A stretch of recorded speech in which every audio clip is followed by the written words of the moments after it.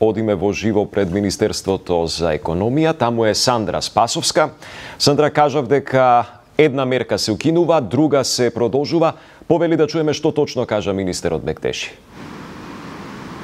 Да, Бурче, министерот за економија Кришник Бектиши на пресконференцијата која заврши предмалку соопшти дека владата на денеска одржаната седница донела одлука да се укине предходната одлука која што исто така беше донесена од нивна страна, тоа е а, да се а, ограничат трговците да имаат акции а, на производите во маркетите. Од сега па натака тие ќе може повторно да ги воведуваат оние акции на производи и дополнително ваквата одлука била донесена според министерот по консултации со бизнис заедницата, од каде што изминатиот период имаше низана забелешки во однос на токму на оваа мерка од владата. Дополнително мерката за гарантирани или замрзнати цени на основните прехрамбени производи која требаше да трае до крајот на месец ноември се продолжува за до крајот на годината бидејќи според министерството дава резултати, а дополнително до крајот на годината според министерот би требало да биде донесен и законот за нефер трговски практики со што ќе се заштити исто така стандардот на граѓаните во текот на следните години. Јас предлагам тука да ја слушнеме изјавата на министерот за економија Кришник Бектеши имајќи во предвид дека одредени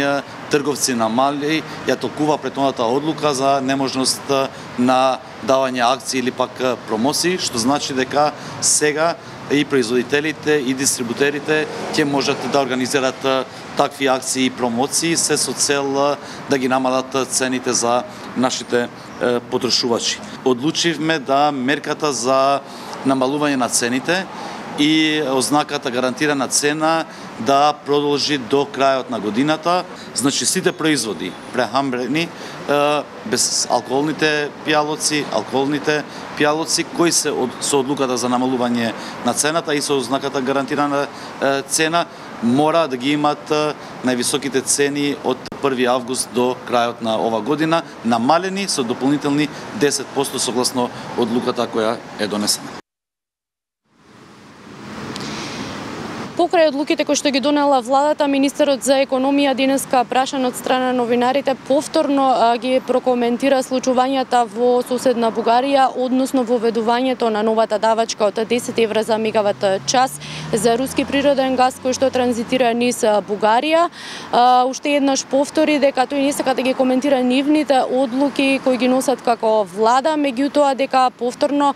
кажа дека Македонија единствено што бара е ослободување на капацитетите кои што се закупени од страна на Газпром до 2030 година и не се користат, оние кои што се слободни да бидат ослободени, за да може Македонија непречено да се снабдува со газ и од други извори, а не само да зависи од рускиот газ, со тоа што доколку се увезува само тој газ, нели со новата давачка би се зголемила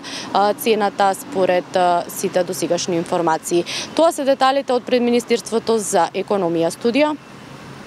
Сандра Спазовска, Маја Становска, ви благодарам за сите информации и вклучувањето во живо.